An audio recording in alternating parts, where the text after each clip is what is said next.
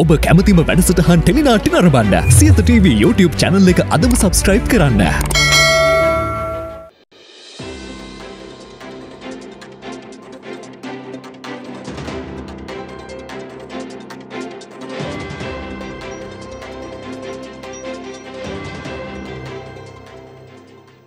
අයිබෝන් ඔබට සුබූ දැස්සර අපි කතා කරමු.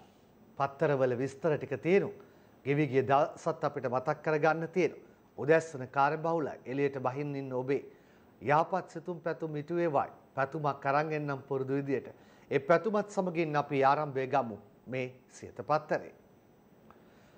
ආරම්භය අරගෙන අපිට ඉතා අවාසනාවන්ත කතාවකින් අද පත්තර වාර්තා ආරම්භ කරන්න වෙන්නේ.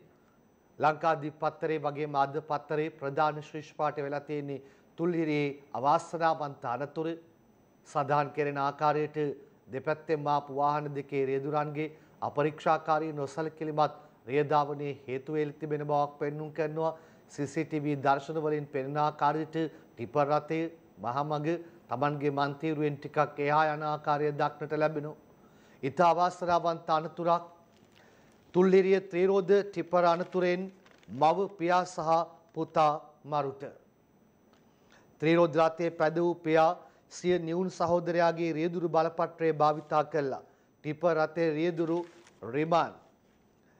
කොළඹ කුරුණෑගල ප්‍රධාන මාර්ගයේ තුල්හිරිය ප්‍රදේශයේදී ඊ අලුයම ටිපර් රථයක් හා ත්‍රීරෝධ රථයක් මූණට මූණ ගැටීමෙන් සිදු අනතුරකින් එකම පවුලේ තිදෙනෙකු ජීවිතක්ෂයට පත්ව ඇතැයි වරකාපොළ පොලිසිය කියනවා. මෙලෙස ජීවිතක්ෂයට පත්ව ඇත්තේ උඩ හිඟුරුවත්ත කොටවැල්ල රඹුක්කන ලිපිනේ පදිංචිව සිටි එකම පවුලේ තිදෙනෙකු වන ගයාන් පින්නවල අවුරුදු 40යි දිනේෂා ශ්‍රේනානි අම්මා අවුරුදු 39යි ගීත්ම තත්සර අවුරුදු 13යි මින් මව සහ පියා එම ස්ථානයේදීම මිය ගොස් ඇති අතර පුත්‍රයා වරකාපොළ රෝහල වෙත රැගෙන යාමෙන් පසු මිය ගොස් ඇති බව පොලිසිය කියනවා. මෙම තිදෙනා ත්‍රිරෝධ රථයෙන් ගාල් ප්‍රදේශයේ පැවති දැරියක් වැඩිවියට පත්වීමේ උත්සවයකට සහභාගී වී ආපසු නිවස බලා යමින් සිටියේදී වරකාපොළ තුල්ලිරිය ප්‍රදේශයේදී ත්‍රිරෝධ රථයේ එක්වරම මාර්ගයෙන් ප්‍රතිවිරුද්ධ මන්තිරුව දෙසට හැරී ගමන් කර ඇති අතර ඒ සමගම කොළඹ දෙසට ධාවනයමින් තිබූ වැලි පැට වූ ටිපර් රථයේ ගැටී තිබෙන බව පරීක්ෂණ වලින් අනාවරණය වී තිබෙනවා. වැලි පැට වූ ටිපරය පොළොන්නරුවේ සිට කොළඹ බලා ගමන් කර ඇතැයිද වාහන දෙකේ රියදුරන්ට හෝ එක් අයෙකුට නින්ද යාම හේතුවෙන් මෙම අනතුරු සිදුවන්නට ඇතැයි සැක කරන බව පොලිසිය කියනවා. අනතුරෙන් ත්‍රිරෝධ රථයේ සිරවී සිටි තුවාලකරුවන් ඉතා අපහසුවෙන් ඉවතටගෙන රෝහල්ගත කර ඇතත් ඒ වන විටත් ඔවුන් මියගොස් ඇතැයි හෙළි වී තිබෙනවා. ඉතා අවාසනාවන්ත අනතුරක් මව පියා දරුවා තුන්දෙනාම ජීවිතක්ෂයට පත්වෙනවා. වැඩි කියන්නේ මෙහි පියා රටේ ඉඳන් ඇවිල්ලා නැවත රට යන්න බලාගෙන ඉඳලා තියෙනවා. අද ලංකාදීපයත් ඒම ප්‍රධාන ශිෂ්‍යපාඨය කියන ලියනවා. සාදයකට ගිහින් එද්දී ඛේදවාචකයක් ත්‍රිවීලරයේ ටිපරයේ මුහුණට මුහුණ ගැටි පියාත් මවත් පුතාත් මරුට පවුලම ඉවරයි තාත්තා කටාර සිට ගෙදරාවේ 15 වෙනිදා ආපසු යන්නයි ගාල්ලේ පැවති උත්සවයකට සහභාගී වී රාමුක්කනසිය නිවස බලා යමින් සිටි එකම පවුලේ පියා මව සහ 13 හැවිරිදි පුතා රැගත් ත්‍රිරෝධ රථේ තුල්ලිරිය ප්‍රදේශයේදී යාළුවම ටිපර් රථයක මුහුණට මුහුණ ගැටීමෙන් ත්‍රිරෝධ රථයේ සිටි තිදෙනාම එම ස්ථානයේදීම මියගස් ඇතැයි වරකපොළ පොලිසිය කියනවා. අනතුරෙන් චප්ප වෙලා ගිය ත්‍රිරෝධ රථය ඔයගලන්ට බලා ගන්න පුළුවන් ඡායාරූපේ ඒ වගේම අවාසනාවන්ත ලෙස රට හැරගිය ජීවිතයෙන් සමුගත් අම්මා තාත්තා පුතාගේ ඡායාරූපත් බලන්න පුළුවන්කම තිබෙනවා.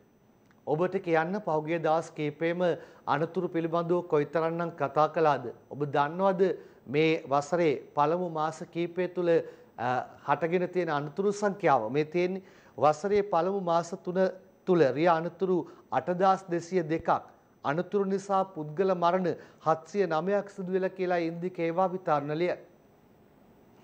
මේ වසරේ ජනවාරි පළවෙනි දින සිට අප්‍රේල් 30 වෙනි දින දක්වා කාලයේ රිය අනතුරු 8202ක් සිදු වී තිබෙන බවත් මෙම අනතුරු වලින් පුද්ගල මරණ 709ක් සිදු වී තිබෙන බවත් පොලිස් මාධ්‍ය කොට්ටාශය කියනවා.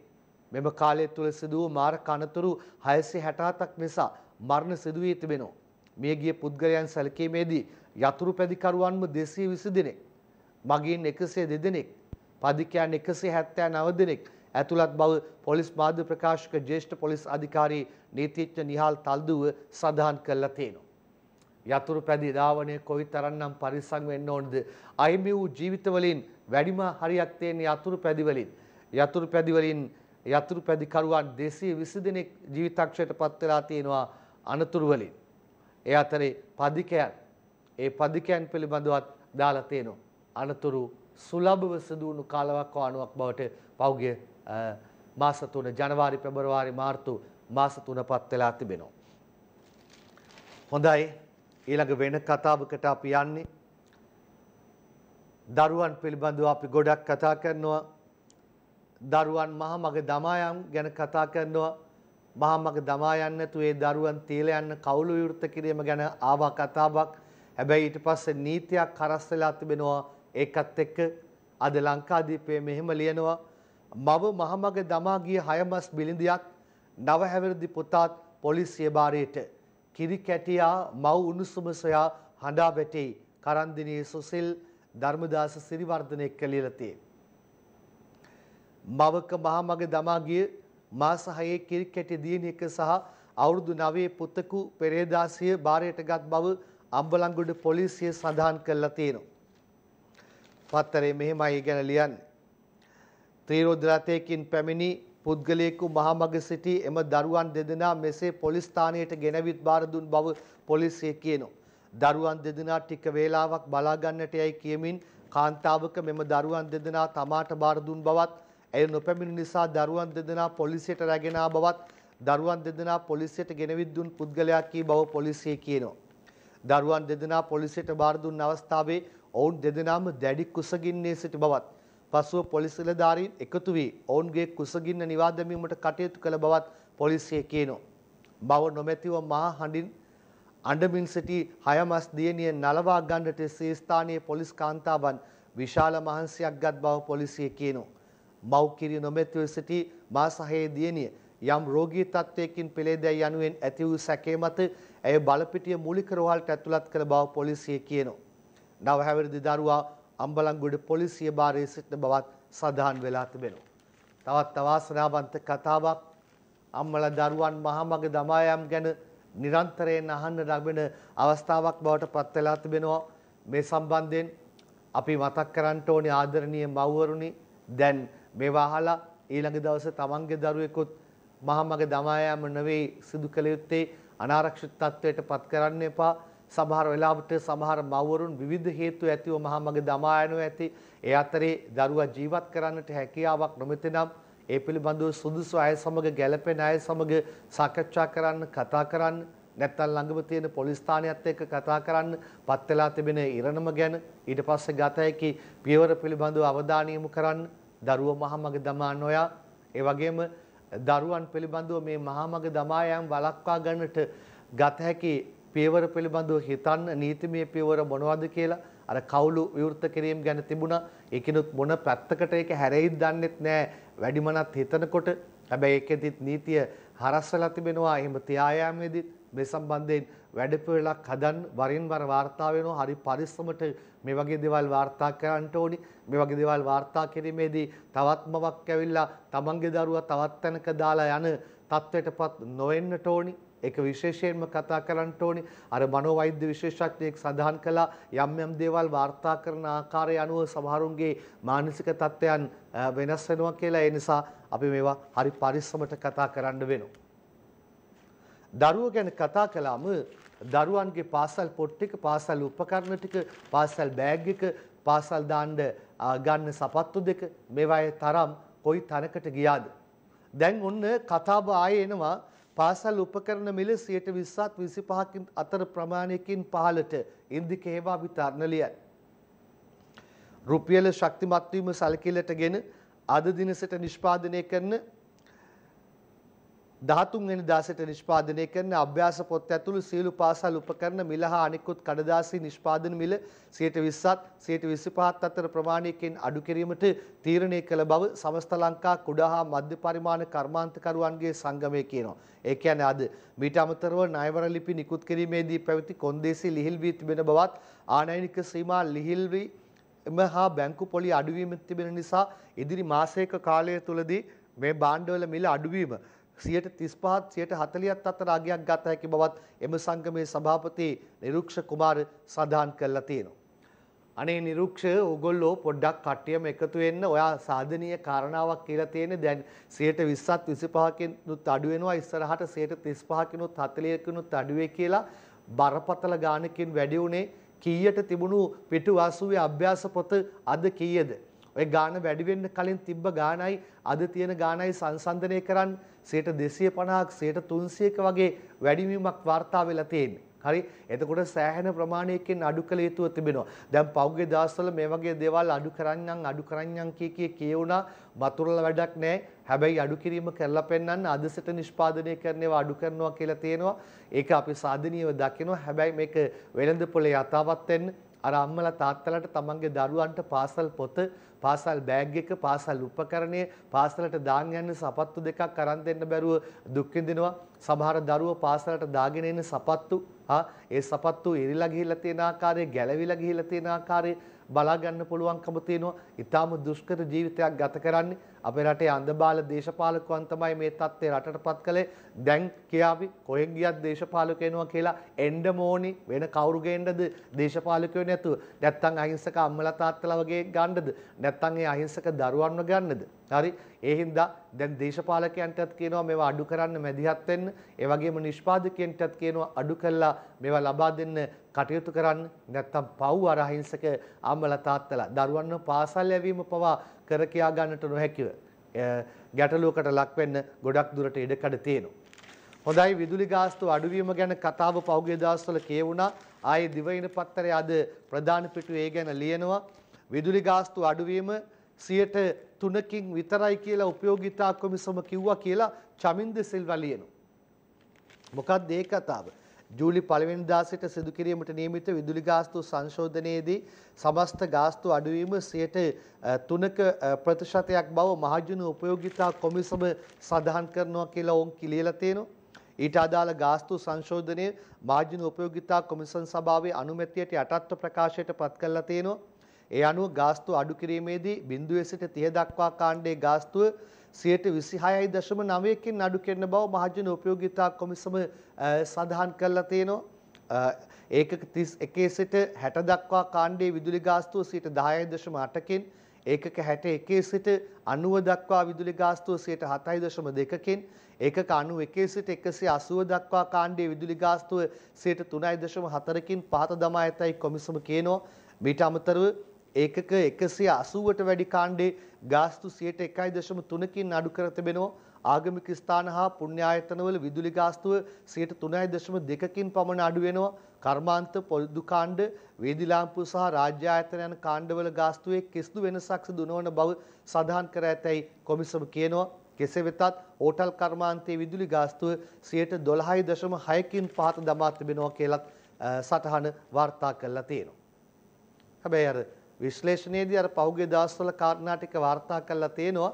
දැන් මේකෙදි ශීර්ෂ පාඨය මම එකපාරට බැලුවේ. හරි. අර ඊයේ මං ලංකාදීපෙන්ද කොයිද උපුටාගෙන කියපු ගාස්තු ඒ ඒකක ප්‍රමාණයට මෙතනත් වාර්තා කරලා තියෙනවා. ඒ අතරේ හිටපු සභාපති ජනක ටික දවසකට පස්සේ කතා කරලා තියෙනවා. ඒකත් අද ඔය තැනම එහා පැත්තෙන් දිවයින වාර්තා කරලා තියෙනවා මෙන්න මේ විදිහට. කොමිසමේ අනුමැතිය දෙන තෙක් සංශෝධනය ප්‍රසිද්ධ කරන්න බෑ. හිටපු සභාපති ජනක කියන්නේ චමින්ද සිල්වාගේ වාර්තාවෙන් එහෙමයි දාලා තියෙන්නේ.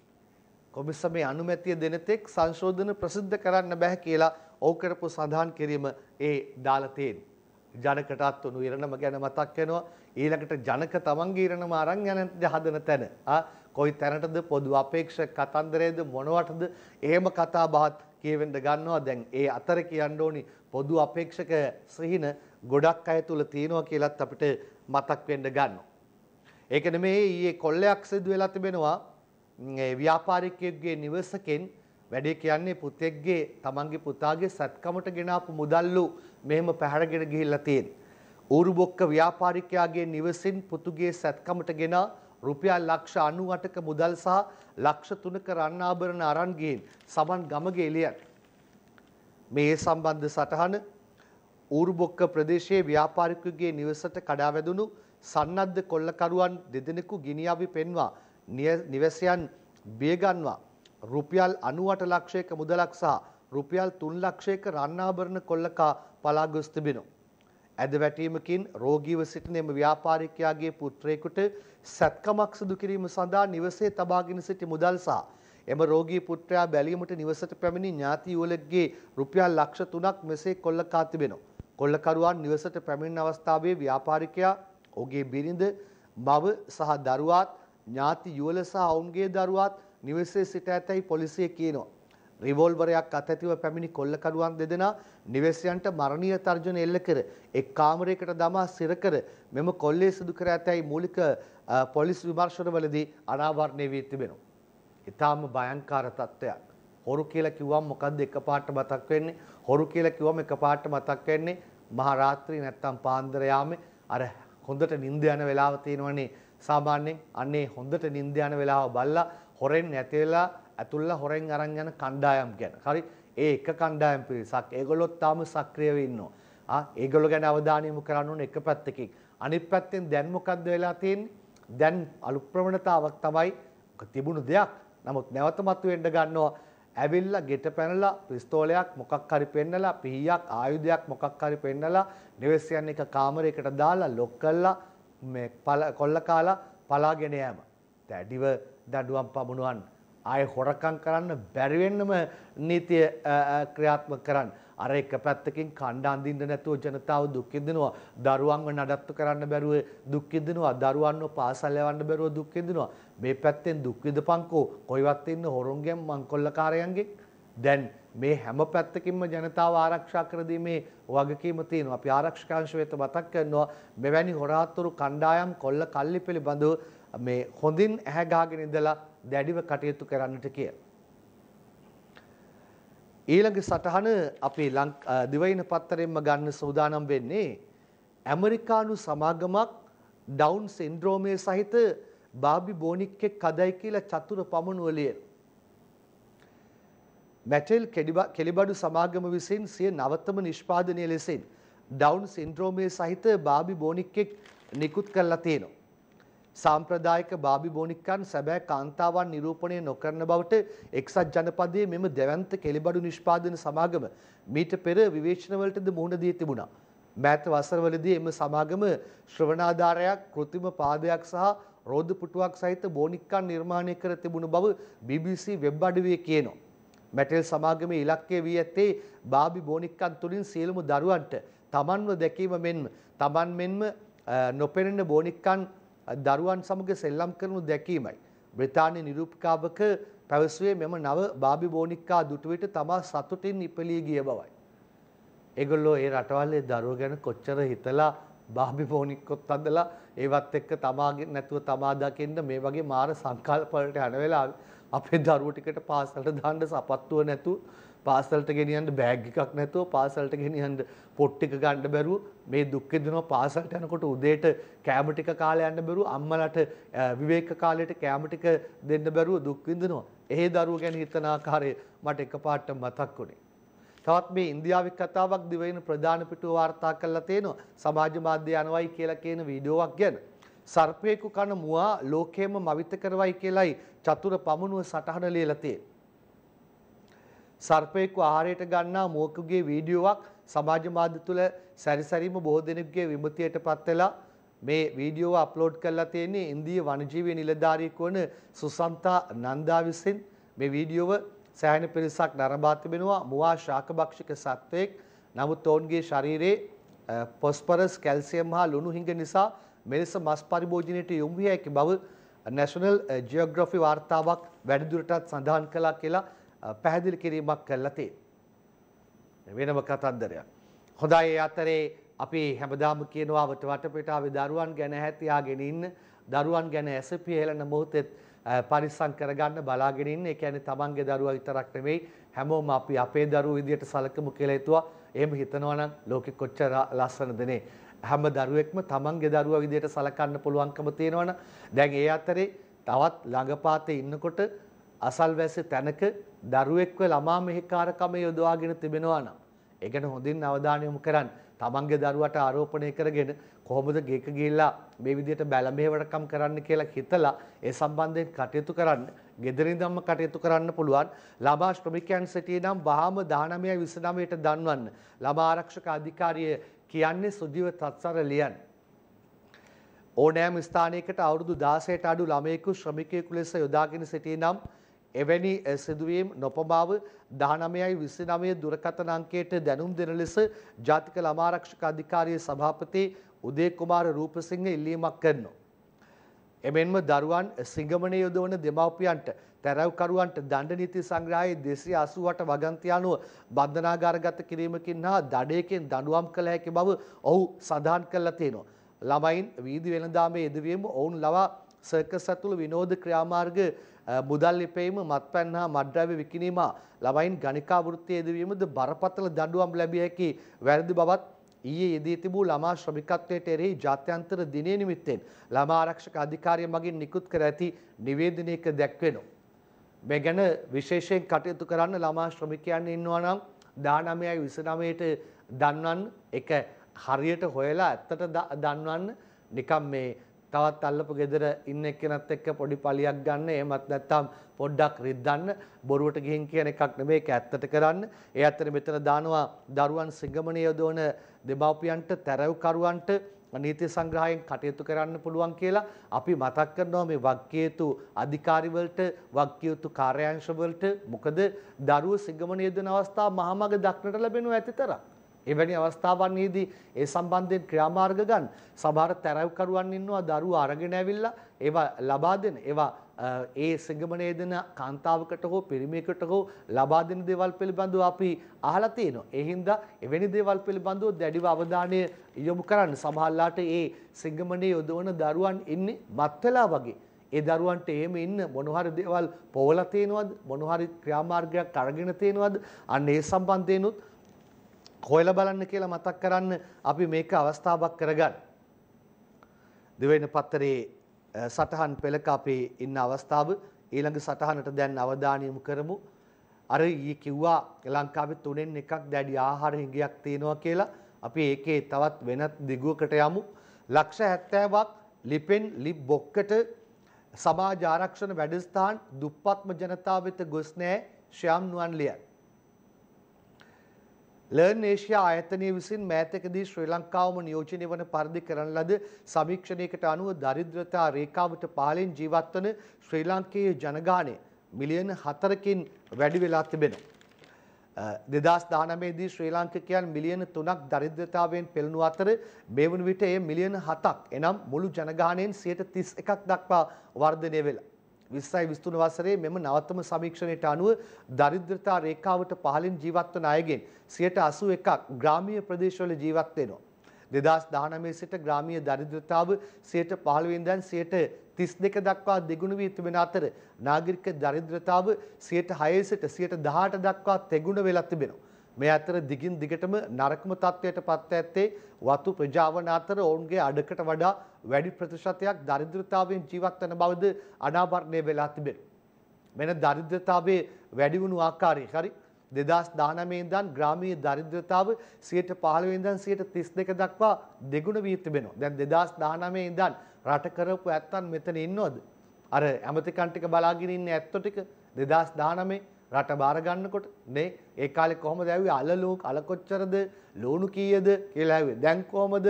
හරි. ඒක තමයි අපිට අහන්න වෙන්නේ. දැන් එහෙම කිව්වම ඊට කලින් පාලනය කරපු ඇත්තෝ ආ හොඳ වැඩේ. 2009න් 19න් කා පස්සේ කට්ටියට ඊට කලින් මගේ කාලේ නම් මෙහෙමයි කියලා මගේ කාල ගැන නම් කියන්න දෙන්න එපා. ඔය හැම කාලවක් වහනුවක්ම ජනතාව දන්නවා.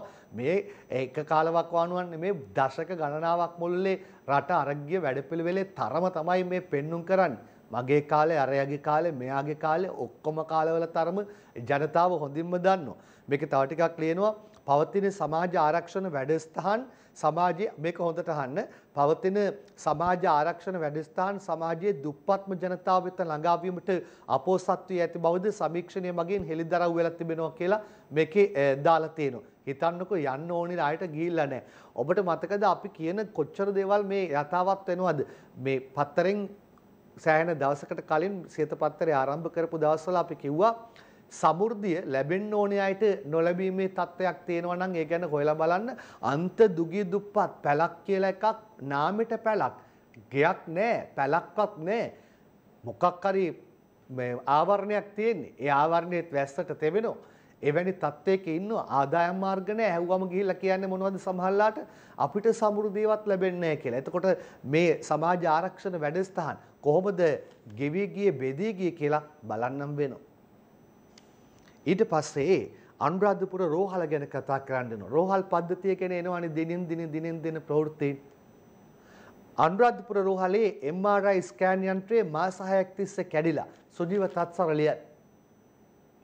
අනුරාධපුර ශික්ෂණ රෝහලේ MRI ස්කෑන් යන්ත්‍රයේ මාස 6ක් තිස්සේ ක්‍රියාවිරහිතව තිබීම නිසා පොරොත්තු ලේඛනයේ රෝගීන් මෙන්ම ප්‍රදේශයේ රෝගීන්ද දැඩි ලෙස අසරණ වී ඇතැයි සෞඛ්‍ය වෘත්තීයවේදීන්ගේ විද්වත් සංගමය සහ රජයේ වෛද්‍ය නිලධාරීන්ගේ සංගමය කියනවා.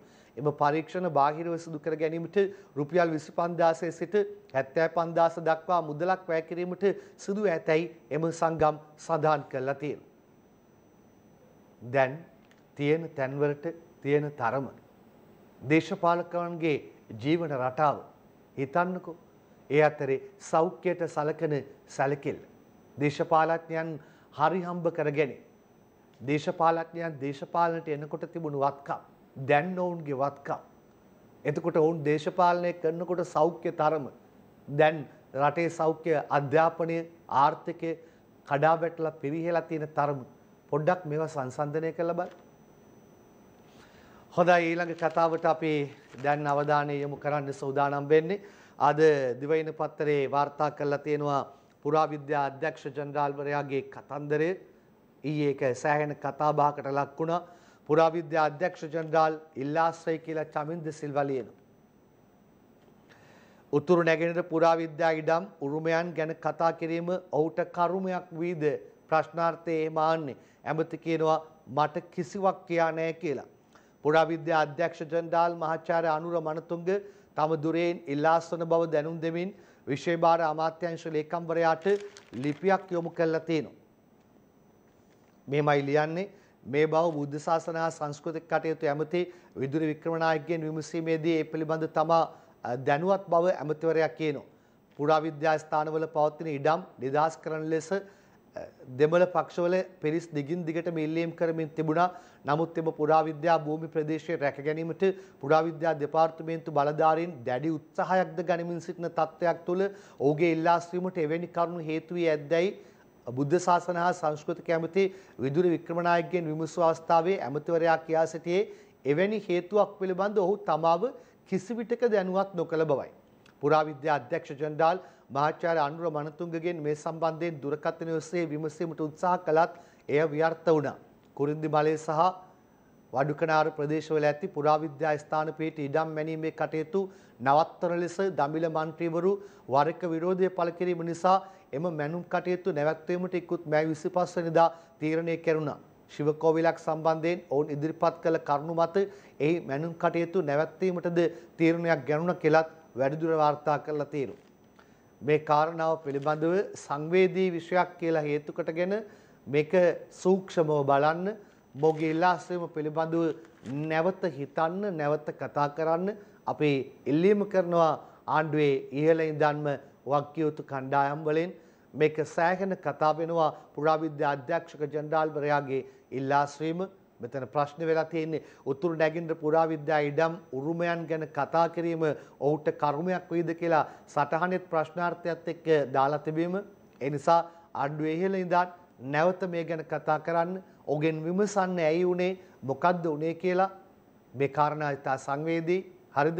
ඊට පස්සේ පෞගේ දවස්වල කතාබහක් ඇති වුණු ආකාරයේ ඔහු ජනාධිපතිවරයා ඒ වගේම අර කණ්ඩායම්වල නියෝජිතයන් ඉන්න අවස්ථාවක මෙවන විට ඒ ගැනත් අවධානය යොමුලා තිබෙනවා. එහිදී ජනාධිපතිවරයා අහන කතාවක් අද මව්බිම ප්‍රධාන පිටුව ශීර්ෂ පාඨයටම අරන් තියෙනවා. මට ඉතිහාසය උගන්වනවද නැත්නම් මම උගන්වන්නද? ජනපති පුරාවිද්‍යා අධ්‍යක්ෂ ජනරාල්ගෙන් අහයි කියලා මිතුන් ජයවර්ධනයි පත්තරයට වාර්තාව අරන් ඇවිත් තියෙන්නේ.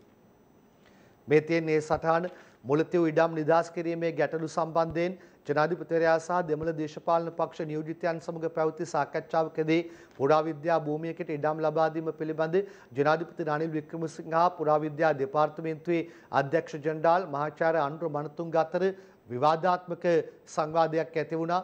අදාළ ප්‍රදේශයේ පේටි කුරුන්දිමලේ විහාරස්ථානයට අයත් භූමියේ වපසරය ගැන මෙම සංවාදය ඇති වූ අතර එහිදී ජනාධිපතිවරයා එම විහාරයේ ඉතිහාසයේ තමා කියා දෙන්න දැයි ජනාධිපතිවරයා අධ්‍යක්ෂක ජනරාල්වරයාගෙන් විමසා තිබෙන අවස්ථාව බලා ගන්න පුළුවන්කම තිබුණා.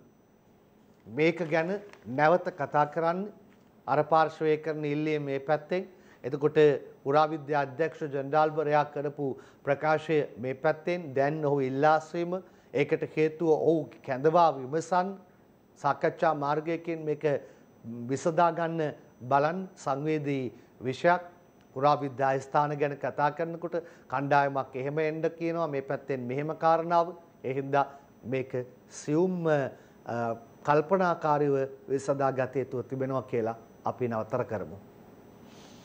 හොඳයි.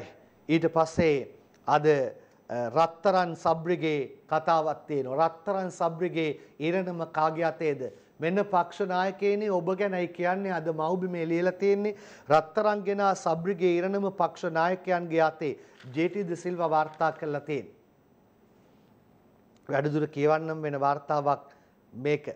නීති විරෝධී ලෙස රත්තරන් තොගයක් රැගෙනමින් සිටියේදී කටුනායක ගුවන්තොටුපොලේ ප්‍රභූ පර්යන්තයේදී රේගු නිලධාරීන් විසින් අත්අඩංගුවටගත් පුත්තල්ම දිස්ත්‍රික් මන්ත්‍රී අලි සබ්රි රහීම් සම්බන්ධයෙන් පරීක්ෂණයක් පවත්වන ලෙස මන්ත්‍රීවරු පිරිසක් විසින් කළ ඉල්ලීම් පක්ෂ නායක රැස්වීමට ඉදිරිපත් කරන බව කතානායක මහින්ද යාපා අබේවර්ධන මව්බිමට කියනවා. අලි සබ්රි රහීම් මන්ත්‍රීවරයා සම්බන්ධයෙන් පාර්ලිමේන්තුවේ ආචාර්ය ධර්ම සංග්‍රහය යටතේ පරීක්ෂණයක් පවත්වන ලෙස ඉල්ලා මන්ත්‍රීවරු 30 දෙනෙකු විසින් කතානායකවරයා වෙත ඉක්ුත් සතියේ ලිපියක් ඉදිරිපත් කළා තිබෙනවා. පක්ෂ නායකයන්ට දාන එකක් දාලා ගන්න ඕනි ක්‍රියාමාර්ගයක් අරන් ඇස් පන අපිටම පේන්නම ප්‍රභූ පර්යන්තෙන් රත්තරන් හොරෙන් අරගෙන ආපු එයාට අනුව එයා බබානේ. එයාට අනුව එයාගේ සහායකයා දාලානේ. ගෙනල්ලා තියෙන්නේ. කොමාරි එක අල්ලගත්තා. ඒ සම්බන්ධයෙන් පීවරක් ගන්න. මේ සම්බන්ධයෙන් ජනතාව බලාගෙන ඉන්නවා. යම් යම් දේවල් පිළිබඳව අපිට තියෙනවා මෙහෙම ක්‍රමවිධයක් කියලා කියන්න පුළුවන්. හරි අපි ක්‍රමවිධි උල්ලංඝනය කරන්න කියලා කියන්නේ ක්‍රමවිධි පටපට ගාලා ක්‍රියාත්මක කරන්න. පක්ෂ නායකයනේ මෙන්න ඔබේ අතේලු. එහෙනම් මේක හරියාකාරව තීන්දුව අරගෙන ජනතාවට පෙන්වන්න පාර්ලිමේන්තුවේ මන්ත්‍රීවරුන්ටත් මෙහෙමයි කියලා අරවා මේවා වරදාන වරප්‍රසාද ප්‍රභූකම් අවභාවිතා කරනවා. ඊට පස්සේ වරදාන වරප්‍රසාද മന്ത്രിවරුන් වෙනුවෙන් පෙනී ඉන්න කණ්ඩායමුත් ඉන්නවා.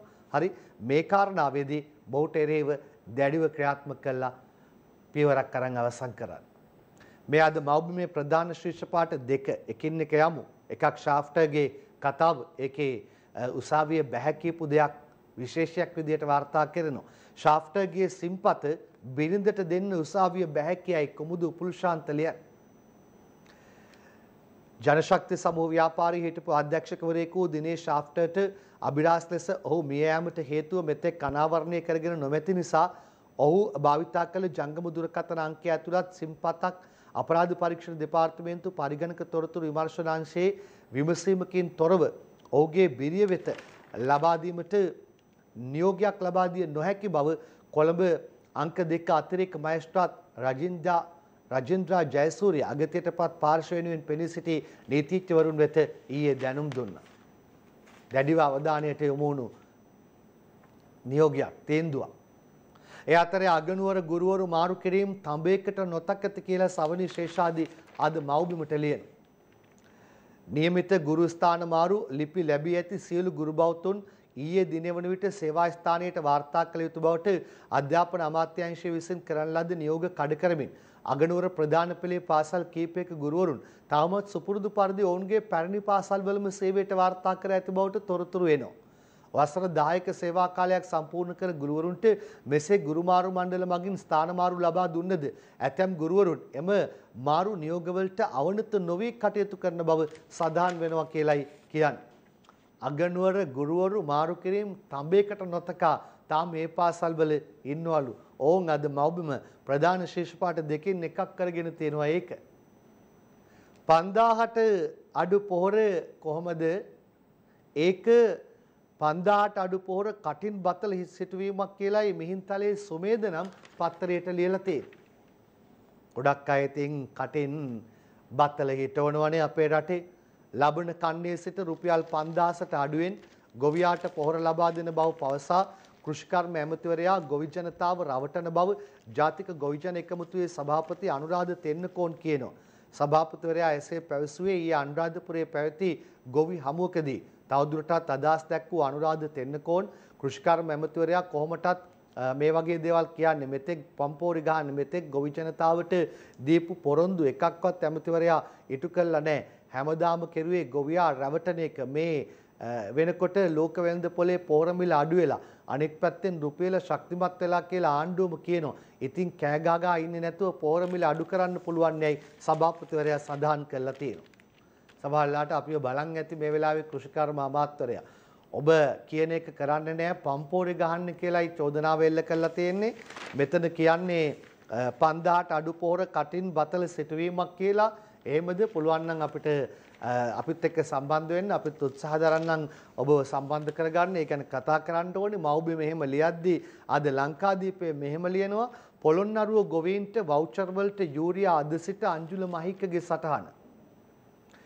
පොළොන්නරුවේ ගොවීන්ට යූරියා පොහොර මිලදී ගැනීම සඳහා ලබා දී ඇති වවුචර් පත්වලට අද සිට පොහොර මිලදී ගත හැකි බව රජයේ ටයත් පොහොර සමාගම් දෙකේ සභාපති ආචාර්ය ජගත් පෙරේරා සඳහන් කළා තියෙනවා. පොළොන්නරුව ගොවීන්ට වීවගාව සඳහා පොහොර මිලදී ගැනීමට නිකුත් කරන ලද වවුචර් පත්වලට මෙතෙක් යූරියා මිලදී ගැනීමට නොහැකි වූ බව ගොවි සංවිධාන නියෝජිතයන් මාධ්‍ය වෙත අදහස් දක්වලා තියෙනවා.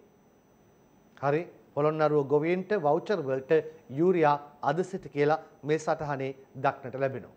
ඒකන මේ මේ වසරේ ආර්ථිකය ඍණ තත්ත්වයකට තවදුරටත් ඉඳීවි ලබන අවුරුද්දේ ආර්ථිකය ධන පැත්තට හැරේවි එහෙම සමීක්ෂණ තිබුණේ. හැබැයි රාජ්‍ය මුදල් අමාත්‍යවරයා නම් ආර්ථිකයේ තරම මේ තත්ත්වය ධන වෙයි කියලා ඔන්න කියන්නේ. මේ වසර අග රටේ ආර්ථිකයේ ඉස්සරහට කියලායි කියන්නේ රංජන් කස්තුරිලියන්. මේ වසරේ අවසන් කාර්තුවේදී මෙරට ආර්ථික වර්ධනය ධනාගයක් ගනු ඇතැයි මුදල් රාජ්‍ය අමාත්‍ය රංජිත් සේබලාපිටිය කියනවා. ඇතැම් ජාත්‍යන්තර මූල්‍ය ආයතන විවිධ පුරෝකථනයන් සිදු කළද ඉකුත් වසරේදී එම පුරෝකථනයන් ඉක්මවා ආර්ථිකය මෙහෙවීමට රජයට හැකි වූ බවයි සීබලාපිටිය කියන්නේ.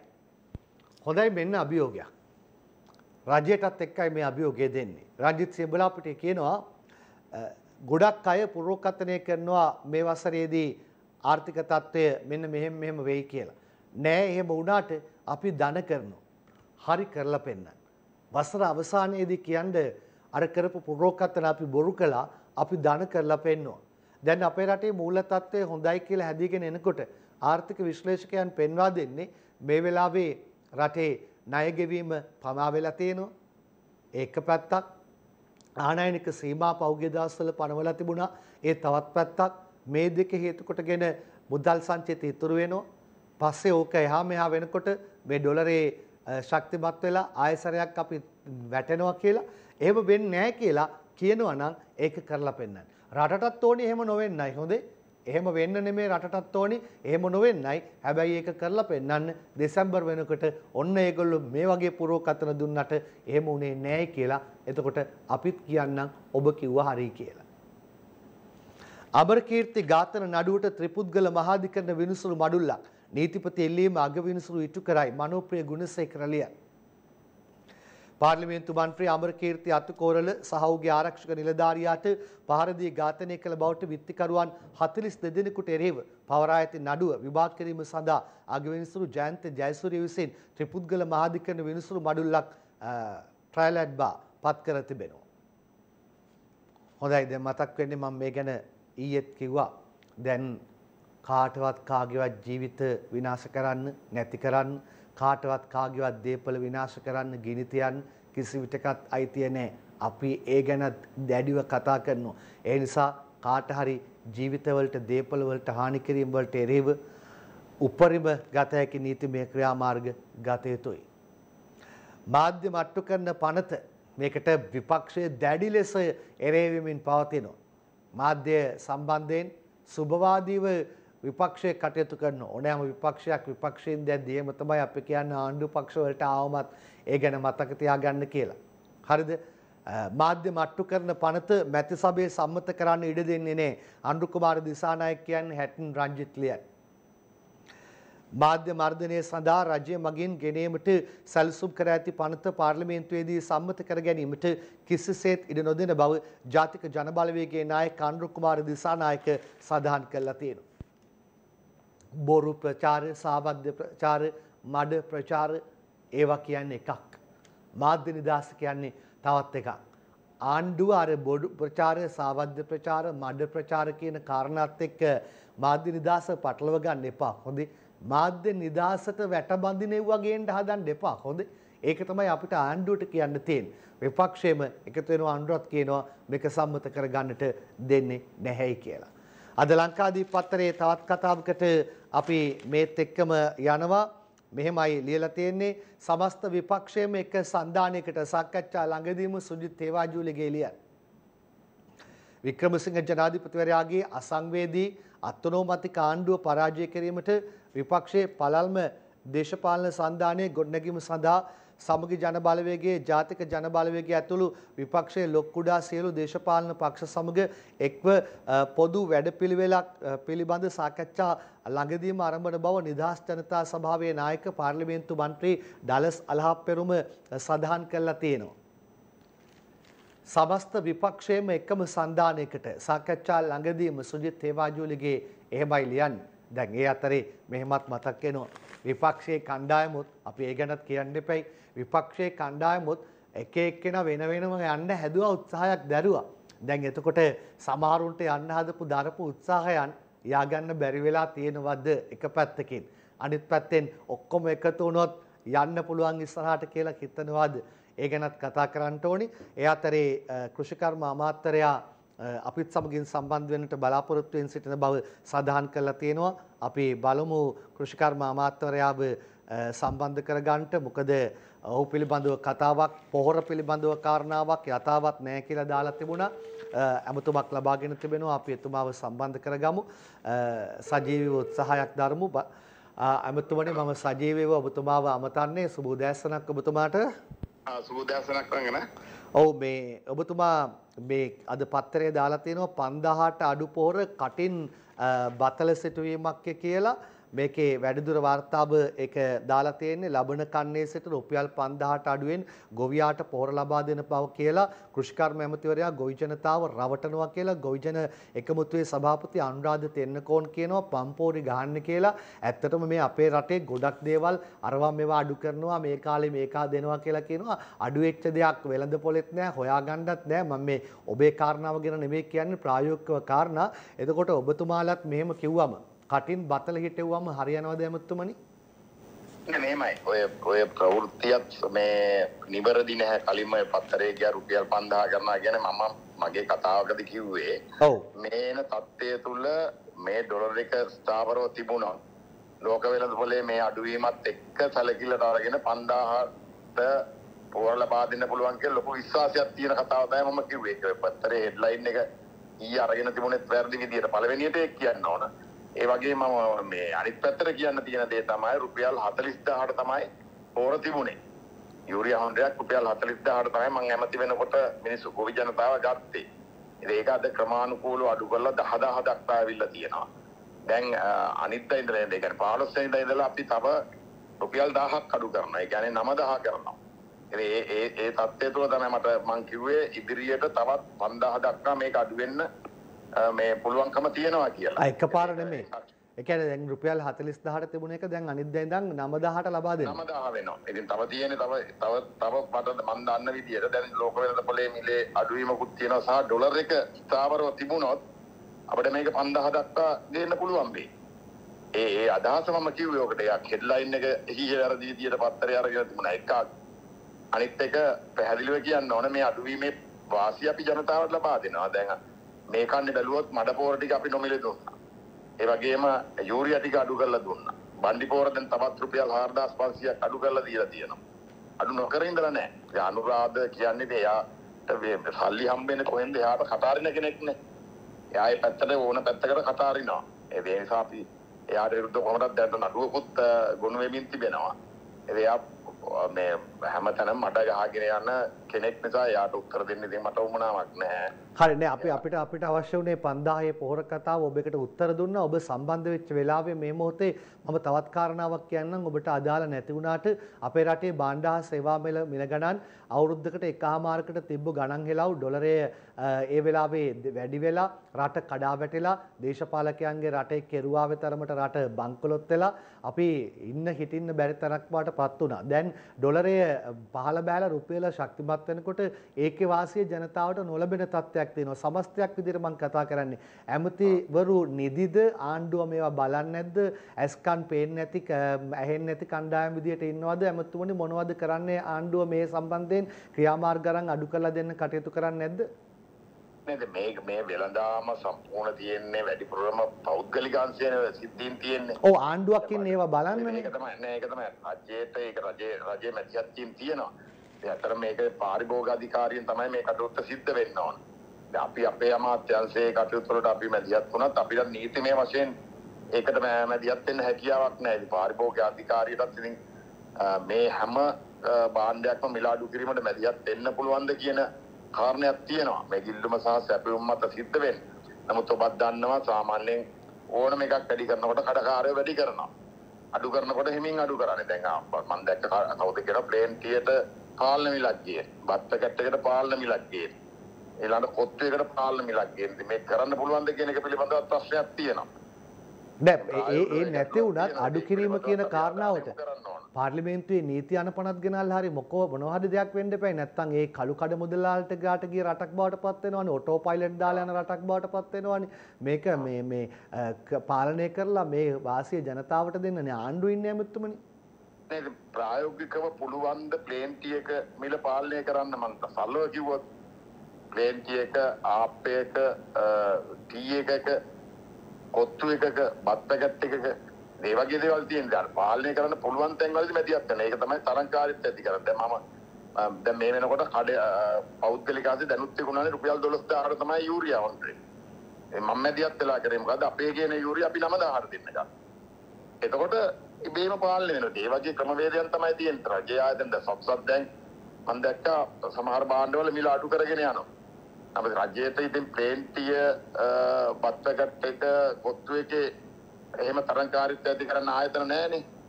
ආණ්ඩුවට විකුණන්නත් බැරිද? ප්‍රායෝගිකව ගැටලු තියෙනවා. හැබැයි ටික දවසකදී ඔක ওই වාසිය ක්‍රමානුකූලව ලැබෙයි. අර එක සැරේට ලැබෙන්නේ නැති එක තමයි තියෙන්නේ. අපේ රටේ මිනිස්සුනේ මේ වැඩි කිරීම කරලා තියෙන්නේ අඩු කිරීම කරන්නත් ඕනේ ඒක. කට්ටිය ඔක පිටරටින් ඇවිල්ලා කරන දෙයක් නෙමෙයි. රටෙන් තුනෙන් එකක් වගේම පාරිභෝගිකව දැනගන්න ඕන. ඒ වගේ වෙලාවට ඒ තැන් වලින් ප්‍රතික්ෂේප කරන්න බාන්න. නෑ මම මම අහන්නේ මේ ඇමතිවරු එතකොට ආණ්ඩු කණ්ඩායම් මේවට හඬ නගලා මේවා කතා කළා මේවා වෙනුවෙන් යථාවත් වෙලා දැන් බලන්නකො ඇමතිකණුයි අරකයි මේකයි ඕවා ගැන මේ කතා බහ කරමින් හැමෝම හැම පාර්ශ්වයක්ම අපි නම් පැත්තක් ගන්න ඇමතුමනි ඔක්කොම බල්ලම ඉන්න අය බලය රකින්න හදනවා නැති අය බලයට එන්න හදනවා මේ ගැටලු යන්නේ ජනතාව තාම පව්. ඉතින් ඒ නිසා මේ සම්බන්ධයෙන් හඬ නැගීමවත් කරනවද මේ වගකියුතු කණ්ඩායම? නෑ නිරන්තරයෙන්ම අපිත් කතා කරනවා කොහොමද මේක පාලනය කරන්න කියලා. එතන අපිට පුළුවන් තැන් වලදී අපි පාලනය කරනවා. ප්‍රධාන දේවල් වලදී මේ මැදිහත් වීම තියෙනවා. ඒ සමහර කාරණා මම මං කිව්ව උදාහරණයටම කවට හරි උත්තරයක් දෙන්න පුළුවන් නම් මම කැමති ඒක මේ පිළිගන්න. අපි උත්තරේ ආණ්ඩුවෙන් තමයි බලාපොරොත්තු ඒක තමයි දැන් හැම එකටම ඇමතිවරුන්ට චෝදනා කරන්න පුළුවන් ලංකන. ඇමතිවරයෙක් ප්ලේන් ටී මිල අඩු කරන්නේ කොහොමද? නෑ ප්ලේන් ටී මිල අඩු කිරීම කියන කාරණාවට මේක රයිස් එකේ මිල අඩු කරන්නේ. ප්ලේන් ටී කියන කාරණාවට මේක ලඟු වෙන්නේ නෑ මම මේ සමස්තයක් විදිහට කතා කරන්නේ. දැන් රටක් පාලනය කරන දේශ දැන් බලන්න මම ඒකට උදාහරණ ටික කියාගෙන ගියේ. දැන් පෝර මිල අපි මේ මට්ටමකට ගේන්නේ නැත්තම් පෞද්ගලික ආසිය තිබුණාද 15000 උඩින් දැනුත් ගේන්නේ. දැන් අපි ගෙනල්ලා තියෙනවා. එතකොට සස්ස ආයතනයේ තියෙන නිසා ඒකෙන් සීනි පරිප්පු ඒවා ඒ වගේ දේවල් අඩු කරනවා. එතකොට පෞද්ගලික අංශයට අඩු කරන්න සිද්ධ වෙනවා. ඒ වගේ පුළු පුළුවන් තැන්වලදී මේ මැදිහත් වීම තියෙනවා. ඔව් පාරිභෝගික සේවා අධිකාරිය පිළිබඳව පාරිභෝගික කටයුතු අධිකාරිය පිළිබඳව පොඩ්ඩක් බලන්න කියන්න වක්කියුතු කණ්ඩායම් වලට අර මොකද නැත්තම් අපි දැක්ක පහුගිය දවස්වල මේ කාටුන් පවා අඳිනවා වෙළඳ ඇමතිගේ කරේ කළු කඩ මුදලාලිය නැගලා ඩ්‍රෝන් එකක් වගේ බඩු මිල ඉහළ යනවා අරයව පඹයට අන්දලා ඔය වගේ කාටුනුත් තිබුණා නෑ පාරිභෝගික අධිකාරියට මීට වැඩි වගකීමක් තියෙනවා කියන එක මටත් පිළිගන්න වෙනවා ආ ඒ අය මීට වැඩිය මේ සඳහා මැදිහත් වෙලා කටයුතු කරන්න ඕනේ. අයට ප්‍රායෝගිකත්වය ඇති. ඒවකයන්ගේ වගේ ප්‍රශ්නවලදී හැබැයි මීට වැඩිය මේ මිල නියාමනය කරන්න තියෙන එකම ආයතනය පාරිභෝගික අධිකාරී. ඔව් පොඩ්ඩක් පොඩ්ඩක් මේ සම්බන්ධයෙන් ආයතන වලට පුළුවන් කමක් නැහැ. හඬ නගන්න ඔබතුමාගේ විශේෂපතේනුත් එහාට මං අරන් ගියා කොමරි ඒ අපි අපි අපි අනිවාර්යෙන් මේක කියලා තියෙනවා. මේ පිළිබඳව සාකච්ඡා කරමු. ඒක තමයි කොහොමරි අවසාන වශයෙන් මේ වගේ කතාවට උත්තර දෙන්න හරි මාධ්‍යයට පැමිණීම් පිළිබඳව නිරන්තරයෙන් ස්තුතිවන්ත වෙනවා බොහොම ස්තුතියි අපිත් එක්ක සම්බන්ධ වුණාට බොහොම ස්තුතියි රන්. බොහොම ස්තුතියි. කෘෂිකර්ම අමාත්‍ය මහින්ද අමරවීර මහතායි අපි සජීවීව සම්බන්ධ කරගත්තේ අ, මේක එතුමට විතරක් නෙමෙයි අහන් ඉන්න අයට දැනිලා මොනවා හරි දෙයක් අපි බලමු කොහොමද කටයුතු කරන්න කියලා නැත්තම් ඉතින් මේ ආණ්ඩුවක් මොකටද කියලා තමයි අපිට අහන්න වෙන්නේ. වැලිසර ආර්ථිකය හදන්න දුන් කෝටි 4ක මුදල් අතුරුදන් දඹුල්ලේ කාංචන කුමාරලියන් ආර්ථික මධ්‍යස්ථාන එකමුතුවෙන් චෝදනාවක්.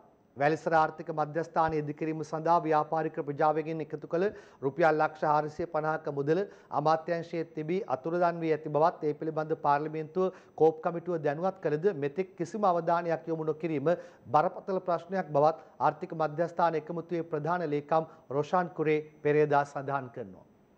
මෙන්න ඔහු කියන්නේ මේක දැනුවත් කළා කොහෙටද පාර්ලිමේන්තු කෝප් කමිටුවට මෙතෙක් කිසිම අවධානයක් යොමු වෙලා නැහැ කොමික් අ, කෝප් කමිටුවටයි මේ මතක් කිරීම. විරාමයක් අරන් එන්නම් අපි.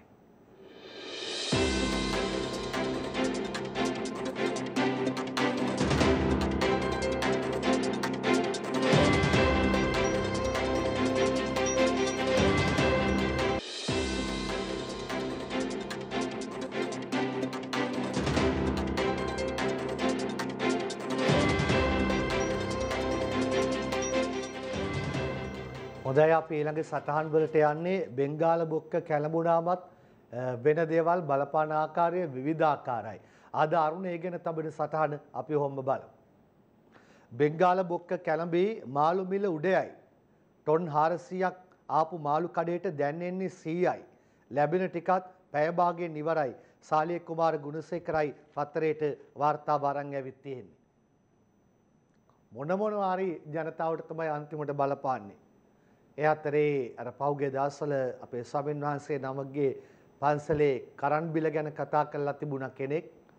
ඒ අතරේ අද එනවා සටහනක් බිල නොගෙව්ව ඕමල්පේ හිමිගේ පන්සල් දෙක ලයිට් කපයි කියලයි සාලිය කුමාරලිය. විදුලි බිල නොගෙවීම හේතුවෙන් රාමඤ්ඤ මහානිකායේ දක්ෂිණ ලංකාවේ ප්‍රධාන සංඝනායක ආචාර්ය ඕමල්පේ සෝබිත හිමියන්ට අයත් විහාරස්ථාන දෙකක විදුලිය විසන්ධි කිරීමට ලංකා විදුලි බල මණ්ඩලය අ, කටයුතු කොට තිබෙනවා. හම්බන්තොට සිරිබාපුර පිහිටි ශ්‍රී ධර්මසිංහාරාමයේ සහ උතුවන්කන්ද ශ්‍රී ධර්මදූත යෝගාශ්‍රමයේ විදුලිය මෙලෙස විසන්ධි කර ඇත්තේ අධික විදුලි බිල හේතුවෙන් කියලා වැඩිදුරටත් සඳහන් කරනවා. මේ සම්බන්ධයෙන් ඕමල්පේ සෝබිත හිමියන් කියා සිටියේ විදුලි බිලෙන් කොටසක් මාස්පතා ගෙවද්දී මෙලෙස විදුලිය විසන්ධි කර තිබෙන බවත් විදුලි බිල වැඩි කරන පළියට විහාරස්ථානවලට බිල ගෙවීමට ආදායමක් නොමැති බවත් මෙම විහාරස්ථානවල විදුලි බිල්පත් ගෙවන්නේ දුප්පත් දායක දායිකාවන් බවත් උන්වහන්සේ සඳහන් කළා කියලයි පත්තරේ දාලා තියෙන්නේ. එබැයි අරුණ පත්තරේ සටහනේ තියෙන. වෙනම කතාවක් අද අරුණ පත්තරේ මෙහෙම ලියනවා පිළිකා සැත්කමක් කළ බිරිඳට සැමියා ලිංගික වද දීලා බන්දුල තඹ විටලියන් සැත්කමකින් රහස් ප්‍රදේශයේ පිළිකාවක් ඉවත් කළ තම බිරිඳගෙන් ලිංගික ඇසුර ඉල්ලා වද දෙන 67 වැනි සැමියෙකු පිළිබඳ වැලිපැන්න පොලිසියෙන් පරීක්ෂණ ආරම්භ කළා. වැලිපැන්න පොලිසියට පසුගිය දින පැමිණි 54 වැනි කාන්තාවක් තම 67 වැනි සැමියාට එරෙහිව මෙම පැමිණිල්ල ඉදිරිපත් කර තිබෙනවා. තමා වයස 14 වියේ පසුවන විට සැමියා තම අකමැත්තෙන් විවාහ කරගත් බවත් මේ වන විට වසර 40ක පමණ කාලයක් ඔහු සමග විවාහ දිවිය ගෙවන බවත් තමාට සහ සැමියාට පුතුන් තිදෙනෙකු සිටින අතර වැඩිමහල් පුතාට වයස 40ක් පමණ වන බවත් එක් පුතෙකු ආරක්ෂකාංශයේ ඉහළ නිලයක් දරන අතර අනෙක් පුතා විදේශගත වී සිටින බවත් ඇය පොලිසියට සඳහන් කළා. සිය රාජ් ප්‍රදේශයේ ඇති වූ පිළිකාවක් නිසා සැත්කමකට භාජනය කළ බවත් සැත්කම නිසා තමා ඊටාම අපහසු තත්වයක පසුවන බවත් තම සැමියා දිගින් දිගටම තමාට හිරිහැර කරමින් අස්වාභාවික ඇසුර අපේක්ෂා කරන බවත් ඇය පොලිසියට අ, සඳහන් කිරීමක් කළා තියෙනවා කියලයි මේක ලියන්නේ. පත්තරේ වාර්තාව පමණක් ඉදිරිපත් කළා no comments හොඳයි මේ ඒ අතරේ මේ මිත්‍යා විශ්වාස වලට ගිහිල්ලා අ, ගැටලු ඇති කරගන්න එපා. ඕක මං කලිනුත් කිව්වා මේ සිසුවියගේ භූතයා එලවන්න කපුවාගෙන් කාම පූජාවක්. පොලිසියෙද්දී හේන කැහැංගිලා දීපා වසන්ත ලියන්නේ. සිරුරේ ඇති භූත බලවේග ඉවත් කිරීමට ශාන්ති කර්මයක් සිදු කරන මුවාවෙන් 16 වී ඇති සිසුවියකට සිය දේවාලය තුලදී අපයෝජනයක් කළේයයි කියන කපුවා ඊ අත්අඩංගුවට ගත් බව කොකාබව පොලිසිය සඳහන් කරනවා. ඒ ඔහු හේනක සංගව සිටියේදී. ඔන්න කපුවා කපෝති කියලා තමයි කියන්න වෙන්නේ. මේ සමහරුන්ගේ ක්‍රියාකලාපයන් මිත්‍යා විශ්වාස වලට යන්න එපා. ගිහිල්ලා ගැටලු ඇති කරගන්න එපා. හරි? කපුවා දැන් ඉන්නේ පොලිසියෙන්දී හේනක හැංගිලා. එතකොට කපුවාව බේරගන්න කවුරුත් නැහැ. ඒ වගේ අ, නරක වැඩ කරන්න ගියා.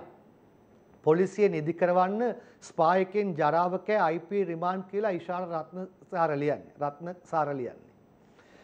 කඩවත පේටි ස්පායතනයක් නීතිමය බාධාවකින් තොරව පවත්වාගෙන යාමට රුපියල් ලක්ෂයක අල්ලස් මුදලක් ලබා ගනිද්දී අත්අඩංගුවට ගත් පොලිස් පරීක්ෂකවරයෙකු රිමාන්ඩ් භාරයේ තබන ලෙස කොළඹ ප්‍රධාන මහේස්ත්‍රාත් අධිකරණයේ ඊයේ නියෝග කර තිබෙනවා. පොලිසිය නිදි කරවන්න ස්පායකෙන් ජනාවකයා IP රිමාන්ඩ් කොහොමද මේ ශීර්ෂ පාඨය දාලා තියෙන ආකාරය?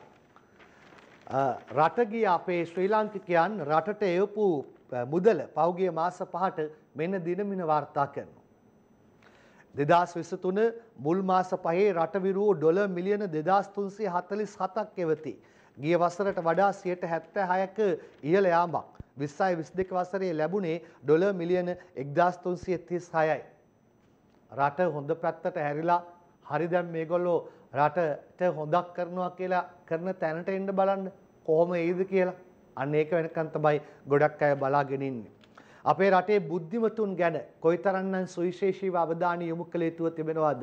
ඒ බුද්ධිමතුන්ගේ විද්‍යාඥයන්ගේ තරම අපි ඉන්න ප්‍රශස්ත මට්ටම මෙන්න අපිට හිතා ගන්න පුළුවන්.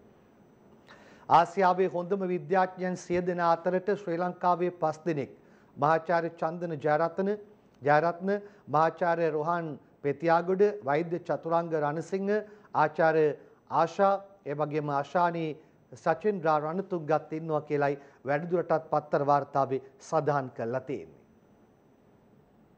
හොඳයි අපේ සුබ පැතුම් ඒ ශ්‍රී ලාංකික අපූරු කණ්ඩායමට.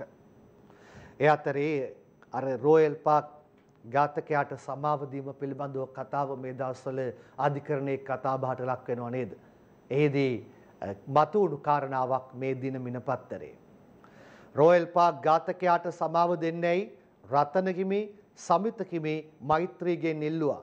ජනාධිපති නීතිඥ සංජීව ජයවර්ධන අධිකරණයට කියපු පුවත අද වාර්තා කරනවා. රොයල් පාක් ඝාතන සිද්ධියේ වරදකරුවේ මරණීය දණ්ඩනීය නියම වී සිටි ජූඩ් ශවන්ත ජයමහා නැමැත්තාට ජනාධිපති සමාව දෙන ලෙස පූජ්‍ය අතුරුලිය රත්න හිමි පූජ්‍ය බද්දේගම සමිත හිමි ඇතුළු පිරිසක් එවක සිටි ජනාධිපති මෛත්‍රීපාල සිරිසේන හමු වී සහ වාචිකව ඉල්ලීම් කර ඇතැයි. ලිඛිතව සහ වාචික වෙන්න ඕනි. ජනාධිපති නීතිඥ සංජීව ජයවර්ධන ශ්‍රේෂ්ඨාධිකරණයේදී ඊයේ සඳහන් කිරීමක් කළා තියෙනවා. තවත් පාර්ශව කීපයක් පූජකවරු එහෙම ඉල්ලීම් කරා කියලත් ඊයේ සඳහන් වෙලා තිබුණා. ඒ අතරේ සෞම්පකාර රක්ෂණ සභාපතිගේ ඝාතන සිදුවීම ගැනයි මේ. ඝාතන කොන්ත්‍රාත්තුව වරකාගොඩ බබාට වෙඩික්කරු හිටපු SF සෙබලෙක් ප්‍රධාන සැක්කරු කෙටි කලකින් අසාමාන්‍ය ධනවතෙක් වෙලා අත්අඩංගුවට ගත් සිව් දෙනා රඳවාගෙන ප්‍රශ්න කිරීමට අවසර කියලා ගයන් කුමාර සටහන අරන් ඇවිත් තිබෙනවා. තවත් කෙනෙක්ගේ ජීවිතයක් නැති කරලා තවත් කෙනෙක් උඩට එන්න දරන ප්‍රයත්න කවදා නවතීද? ඒ අතරේ සාමාන්‍ය පෙළ ඉවර වෙලා ටියුෂන් ගුරුවරයාත් එක්ක විනෝද ගමනක් ගිහිල්ලා සිසුවෙකුට වෙච්ච දෙයක් මේ. ටියුෂන් ගුරුවරයාගේ විනෝද ගමන සාමාන්‍ය පෙළ සිසුවාට මරු කැඳවයි. දඹුලු යනවයි කියා තෝරපිටිය වැවට නාන්න ගිහින් බේරගන්න ගිය තුන්දෙනා බේරුණෙත් 99 සිසුවාගේ මරණය ගැන ගුරුවරයා මව්පියන්ට දැනුම් දී නැහැ. යාළුවෝ 6 දෙනෙක් වතුර විතර වතුරට පැනලා සෙල්ලම් කර කර ඉඳද්දි ගයන් එකපාරටම කෑ ගැව්වා. එයා වතුරේ ගිලෙන්න යද්දි තුන්දෙනෙක් එයාව බේරගන්න වැවට පැන්නා. ගයන්ගේ මිතුරන් සඳහන් කරන කතාව. මතකද දවස් කීපයකට කලින් මං කිව්වා කොහේ හරි දියනාන්න යන්න ගියොත් නොදන්න තැනක කකුල තියෙන ඊළඟ තැන මොන තරන්නම් ගැඹුරුද කියලා කවුද දෙයනේ දන්නේ මොන තරම් එරණ තැනක්ද කියලා කවුද දෙයනේ දන්නේ සාමණේර හිමිවරු ගැන ගොඩක් කතා බහ ඇති වුණා. ඒ අතරේ ඇමති විදුර වික්‍රමනායක කියන කතාව දැන් අරුණෙන් බලන්න. දරුවන් සසුන්ගත කිරීමට අවම වයස් සීමාවක්. වයස තීරණය කිරීම මහා නාහිම්වරුන්ට බාරයි. ඇමති විදුර වික්‍රමනායක ප්‍රකාශ කරන්නේ නිර්මාණය තිලකසිරි අසංකා උදේශනිත් එක්කයි වාර්තාව අරන් ඇවිත් තිබෙන්නේ. දරුවන් සසුන්ගත කිරීමට අවම වයස් සීමාවක් වයස තීරණය කිරීම මහානාහිම්වරුන්ට බාරයි කියලයි කියන්නේ. හොඳයි විදේශ වාර්තාව ට්‍රම්ප් පිළිබඳවයි මේ එතෙර අරුණ. ඇමරිකාවේ න්‍යෂ්ටික රාස් ලේඛන ට්‍රම්ප්ගේ ගෙදර නාන කාමරයක හමුදා රාස් ඇතුළත් ලේඛනත් තිබිලා ට්‍රම්ප් අද අධිකරණය හමුවට වැරදිකරු වුණොත් වසර 20ක් හිරේ ට්‍රම්ප් ගැන පුදුම කතා බහ ඇති වෙන්නේ ඒ රටේ දේශපාලකයන් අභිමුව නීතිය ක්‍රියාත්මක වීම කියන කාරණාව ගොඩක් කතා වෙනවා. ලෝක ටෙස්ට් ශූරතාව අවසන් තරගයේ ඕස්ට්‍රේලියාව ඉතා පහසුවෙන් ජයග්‍රහණය කළා ඉන්දියාව පරාජයට පත් කරමින්. ඉන්දියාවට මාර විදියට රිදිලා ඉන්දියාවේ හිට ක්‍රීඩකයන්ට ඉන්දීය ක්‍රීඩාලෝලයන්ට රෝහිත් ගෙදර යවනු ඉන්දිය ක්‍රිකට් ලෝලියෝ එකහඬින් කියති චතුර පමණුවලියන්. ඉන්දිය ක්‍රිකට් කණ්ඩායමේ පුහුණුකරු රාහුල් ඩ්‍රාවිඩ් ටෙස් ලෝක කුසලාන අවසාන මහා තරගයෙන් තම කණ්ඩායම පරාජයට පත්වීමෙන් පසු ඉතා බලවත් ලෙස ඉන්දිය ක්‍රිකට් පාලක මණ්ඩලය වෙත චෝදනාවක් එල්ල කළා. මම කවදාවත් සතුටු වෙන්නේ නැහැ අවසන් තරගයේදී ඉන්දියාව ලද දරුණු පරාජයෙන් පසු කලකිරුණු රාහුල් ඉන්දිය ක්‍රිකට් පාලක මණ්ඩලය වෙත ප්‍රහාරයක් දියත් කරනවා යනුවෙන් එම පුවත ඉන්දිය මාධ්‍ය ඉහළින් වාර්තා කළා. එංගලන්තයේ ඕවල් ක්‍රීඩාංගණයේ පැවති තරගයේ අවසානයේ රාහුල් මෙලෙස කියලා තිබුණා. පුහුණුකරුවෙකු ලෙස අපගේ සූදානම ගැන මම කිසිවිටකත් සතුටු වෙන්නේ නැහැ. නමුත් ඒ යථාර්ථයයි. මට ඒ ගැන කිසිවක් කරන්න බෑ. කාලසටහන පටුයි. ක්‍රීඩකයන් අවසන් තරගයට සති තුනකට පෙර මේ පැමිණ පුහුණු තරග කීපයක් ක්‍රීඩා කළේ නම් ඔවුන් මීට වඩා හොඳින් සූදානම් වීමට ඉඩ තිබුණා.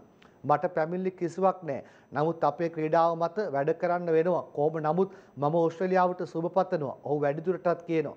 ඉන්දියාව ලෝක කුසලාන අවසන් තරගයේදී ඕස්ට්‍රේලියාව හමුවේ නින්දාසාගත පරාජයක් ලැබීම එරට ක්‍රීඩාලෝලීන් මෙන්ම ක්‍රිකට් විචාරකයන්ද කෝපයට පත් කළා.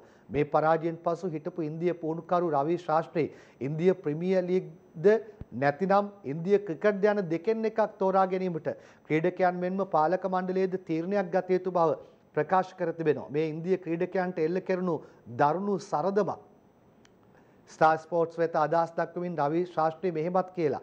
ඔබ ප්‍රමුඛතා තැබිය යුතුයි නේද? ප්‍රමුඛතාව කුමක්ද? ඉන්දියාවේ හෝ ෆ්‍රැන්චයිස් ක්‍රිකට් ඔබ එය තීරණය කළ යුතුයි. IPLද වැදගත් නැත්නම් ලෝක කුසලාන අවසන් තරගද ක්‍රීඩාවේ බාරකරු ලෙස පාලක මණ්ඩලයේ ලොක්කන් තීරණය කරගත යුතුයි කියලා දාලා තියෙනවා. මේ අතරේ කෝපයටපත් ඉන්දිය ක්‍රිකට් රසිකයන් සිය ට්විටර් ගිනුම් හරහා ප්‍රකාශ කරන්නේ රෝහිත් ශර්මා විශ්‍රාම ගත යුතු බව එක් ට්විටර් සටහනක මෙලෙස සටහන් වෙලා තිබෙනවා. පූර්ණ කාලීන නායකත්වයෙන් පසු රෝහිත් ශර්මා ආසියානු කුසලානයේ පැරදුනා 20යි 20 ලෝක කුසලානයේ පැරදුනා. ලෝක ශූරතා ටෙස්ට් අවසන් තරගයේ අහිමි වුණා. මොව් ඉවත් කළ යුතුයි. එහෙමත් සඳහන් කරලා තියෙනවා. දැන් වැඩේ කියන්නේ ලෝක ටෙස්ට් ශූරතාවේ අවසන් තරගයට ගිහිල්ලා පැරදිලා තමයි මේ වගේ දරුණු විවේචන වලට ලක් වෙලා තියෙන්නේ. ඒ අතරේ පෞගේ කාලවකවානුවල අපි පැරදුණු තර ලෝක කුසලානයේ සුදුසුකම් ලැබීමේ තරඟාවලිය දක්වාම අපි වැටුණු තර. කොමරි අපේ ක්‍රිකට් නැවත ගොඩ දැමිය යුතුයි. අපේ කණ්ඩායමට සුබ පතනවා සාර්ථක තරඟාවලියකට අපේ පැත්තෙන්. හොඳයි කාටුන් පෙළ මේ විරාමයෙන් අනතුරුව.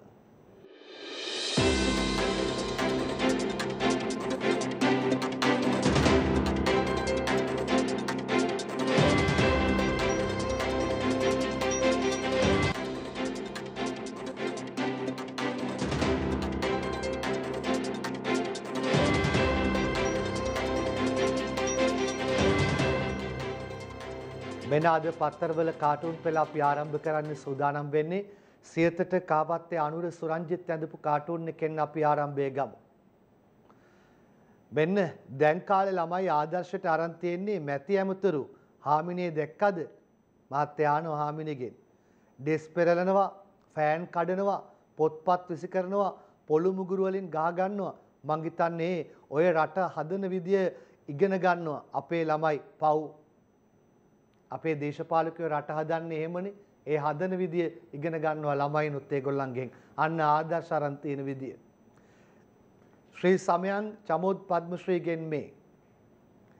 තුන්පිම්ම ජාතික ශූරයා ස්විච්චර්ලන්තයේදී අතුරුදන් වෙලාලු බං තුන්පිම්මට නෙවෙයි ඕනම ජාතියේ පිම්මකට කරණමකට සූරයෝ අපේ ඇමති මණ්ඩලයේ ඉන්න බං එක්කෙනෙක් දැම්මනම් හරි තුන්පිම්මට මරුවට තියේ. කප් එක ගහලා මේ අද පත්තරේ ජනරාණි කාටුන් එක යාළුවා රාණිට කියනවා මේගොල්ලෝ නිදහස් අධ්‍යාපනය නිදහස් සෞඛ්‍ය කප්පාදු කරනවා කියලා. රාණි ආනෝ එතකොට ඇයි නිදහස් අදහස් මේගොල්ලෝ නිදහස් අදහස් පවා කප්පාදු කරන්න යන්නේ හොඳේ. ඒ අතරේ තිස්ස හේවා විස්සගේ හිනාවැස්ස.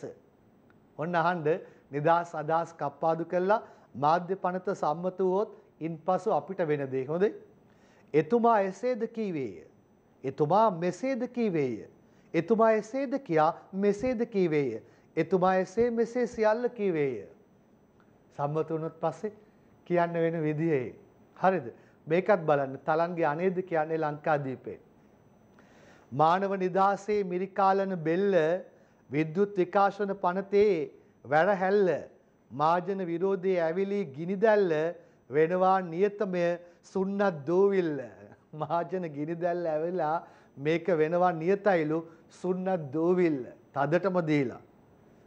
එ අතරේ ලංකාදීපයේ තලංගම ජයසිංහගේ පලාමල්. රාජදාස ඒතුමාට කියනවා මහින්දානන්ද මැති සබේ ක්‍රියාකාරීම මන්ත්‍රී වෙලා.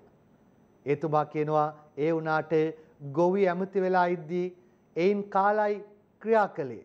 ඒ කිව්වෙස ඇයි බං මතක නැද්ද ගොවිතැන කාලක්‍රියා කළා?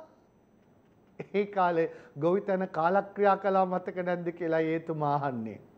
විදුර අබේනායකගේ දවසේ පද හතර මෙන්න. අධිකාරියක් කළහොත් දුම්රිය සේවා ඒ දියුණුවට ගෙන යනු හැකි බව කීවා. බන්දුල ඇමති පවසන රසබස් මේවා වයිමට බැරි වැඩෙත් ඇමතිට හැකි වේවා. අම්මපා නේ බස් රස බස් දොඩන හැටි අනුරාධගේ ඕකයි තත්ත කවිය දැන්.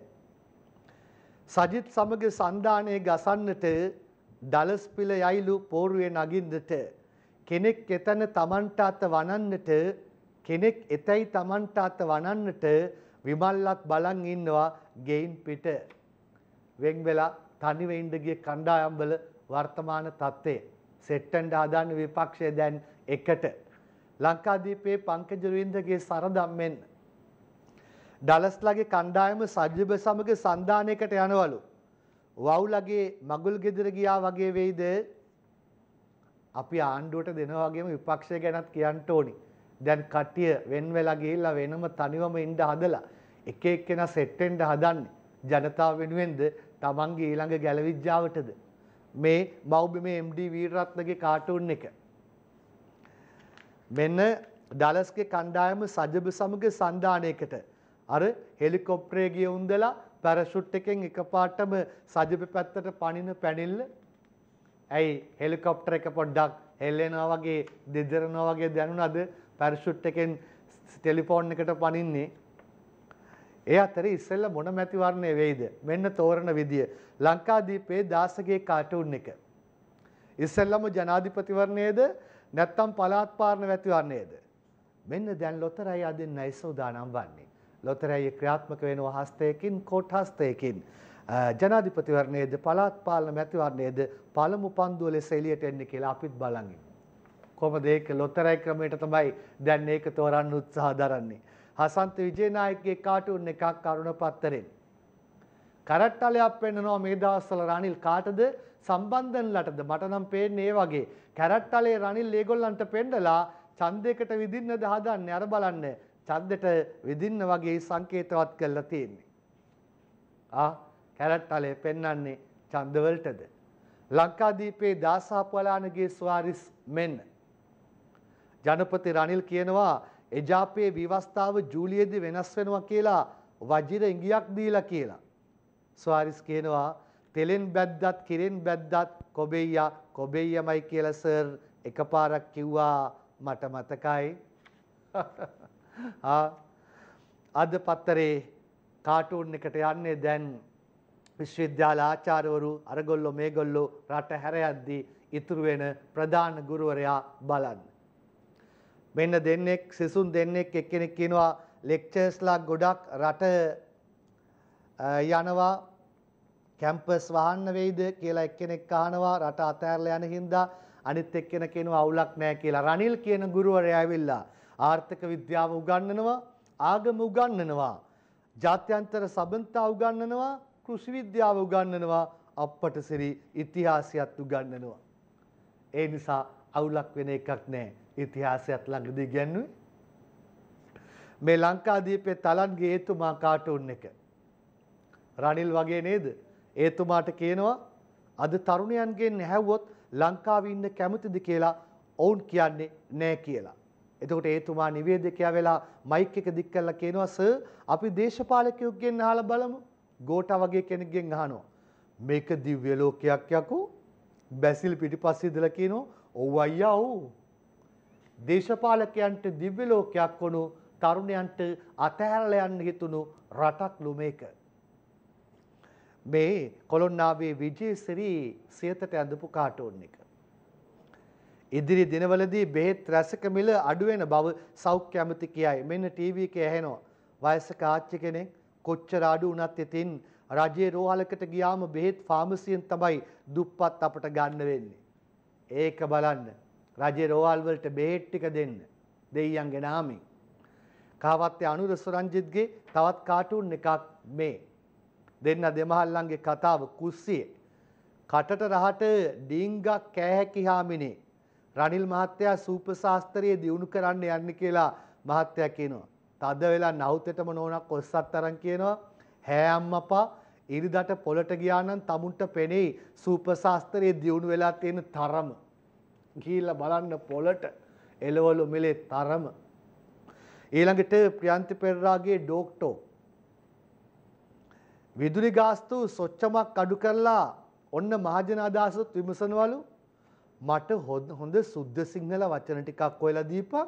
ලුණු ඇඹුල් ඇතුවම අදහස් දක්වන්න. අන්න ඔබටත් වරමක්. විදුලි ගාස්තු ගැන අදහස් දක්වන්න. හොඳ වචන ටිකක් සෙට් කරන් ඉන්න හොඳ. තිලකගේ තුන්මන්සල කවිය. කොස් ඇට කැලෑකොළ අද බත් නැතිව කන දරුවන් දුක්විඳින රට තොට සියලු තැන. පෙන්නුවත් මාධ්‍ය නොදකින නොසලකන පිරිසකි දියවන්නාවේ අඳගොළු බිහිරි වුණ අඳගොළු බිහිරි සෙට් එකක් දියවන්නාවේ ඉන්නේ පේන්නේ පෙන්නන ඒවා MD වීරරත්නගේ මර්සිපාල මව්බිමේ. ඇමතිකම් නැතුව පෝට්ටු දිස්ත්‍රික් නායකයෝ කලකිරලලු. පව් දෙයියනේ අහිංසකයෝ දිවිනසා ගනීවිද දන්නේ අනේ එහෙම කරයිද දන්නේ පව්. මේ ජයරත් වික්‍රමසිංහගේ ෆේක්බුක් රටේ ලක්ෂ 75ක් හරියටි ආහාරයක් නැතුව දුක් විඳිනවලු. ඔව් ඔව්. තව කට්ටියක් එයාට ඇමති පට්ටම් නැහැ කියලා දුක් විඳිනවලු. දේශපාලකයන්ගේ ජනතාවගේ තරම. මේ මුණුපුරා ආතාපේ කවි දෙක. ලක්ෂ 75කට හරි කෑම නැත සමීක්ෂණයකින් එහෙමයි ගේන මත. උණු කඳුලක් ගලා එද්දී දැස වෙත ආතා මෙසේ කීවා පෑරලා හිත. රටගොස් ආර්ථික අර්බුද අගාධයට මහජනයා වැටිලා ඇත අපායට. පාලකයිනේ දුක් නොමදී සමාජයට විසඳුම් දියව් වගකීමෙන් බැඳී සිට අද කාටුන් වලින් තදින්ම දීලා තියෙනවා දේශපාලකයන්ට සුජීවගේ විගඩම් කවිය ලංකාදීපේ වෙන්න ලක්ෂ ගානකට හරියමන් කෑමක් නෑ පුවතක් කන්නට හිතේ හැටියට ලැබෙනවා දානේ ඒ පිළිබඳ හොඳටම දන්නවා නෝනේ. කන්නට නැති එවුන් ලංකාවේ නෑනේ. කඳ බඩ දැක්කාම පිළිගන්නට බෑනේ කියලා කඳ බඩ තියෙන දේශපාලකයෙක් කියනවා. ජනතාව අතර නැති අය. අවසානයේ ගන්න හදන්නේ බැරි නම් විකුණන්න කෙනෙක්ව කියනවා. ගපිරිගේ කවිය මෙන්න. අවුරුදු 4 තුල පසුගිය යුගයේ තුල 40 ලක්ෂයක් තව දුප්පතුන් කළ පුවතක් දැකලා රත් වූවද ඔබේ මොළ වගකියුත්ත කවුරුද මේ හදිය කළ කෙලවීගෙන යද්දි පිටරට පටවන්න සම්පට්ටික රටේ සුද්දට විකුණන්න ඒවායින් මඩිස්සල් ටික පුරවන්න මදිනං මහතුනේ අපිවත් විකුණන්න හැමදේම විකුල්ලා බැරිනං පුරවැසියවත් විකුණන්න මහතුනේ කියලයි කියන්නේ මාචාය සුනිල් ආරිරත්න ලියූ නන්දා මාලනියන් ගැවූ ගීතයක් මට මතක් වෙන්න ගත්තා. හමුයම හෙටත් සියත පත්තරෙන්.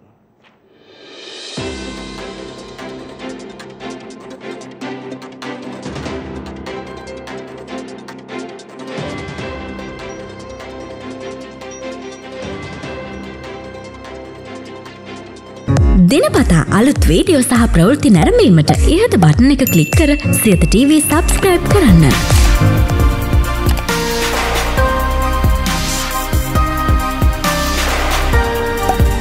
අලුත් වීඩියෝ ගැන මුලින්ම දැනගන්න මෙම සීනුව කලික් කරන්න.